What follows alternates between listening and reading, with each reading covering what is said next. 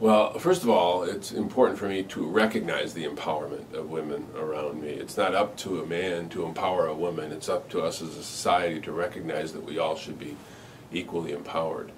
Uh, but you know, every human being has the right to be the best and do what they want to do to pursue happiness and to create their own contribution to our society. We ought not limit that.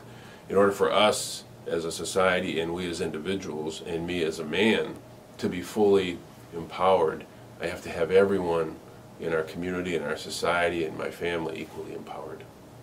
Well, I mean, the first thing we can do is recognize that, uh, unfortunately, in our society, poverty is visited more upon women, particularly young women, than any other sector of our society.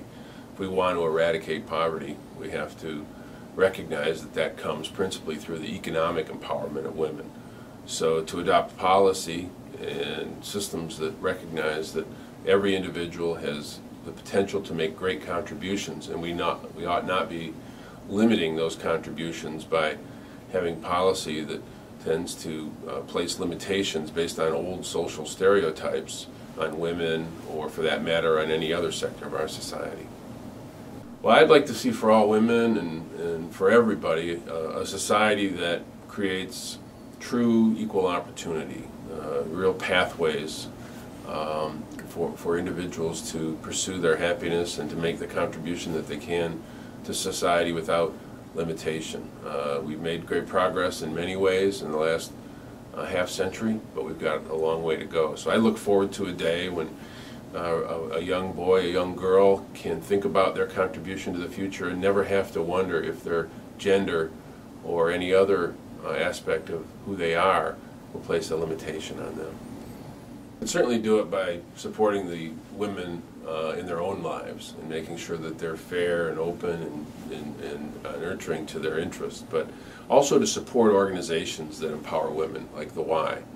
Uh, there are lots of ways that people in this community can support uh, the Y, and, and because of the work that they do by supporting an organization like this, you're actually supporting not only the women that you know and that you love, but people, women from all over the region.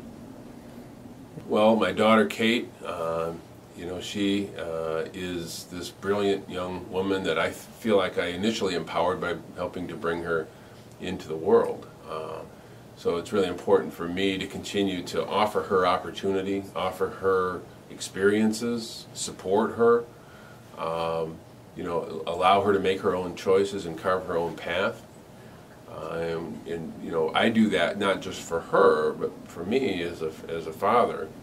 You know, as her dad, it's it's something that I want for her. I want for her brothers. Uh, I want for my grandchildren, uh, because it makes me happy and it makes me feel like I've made a contribution through the work that she does.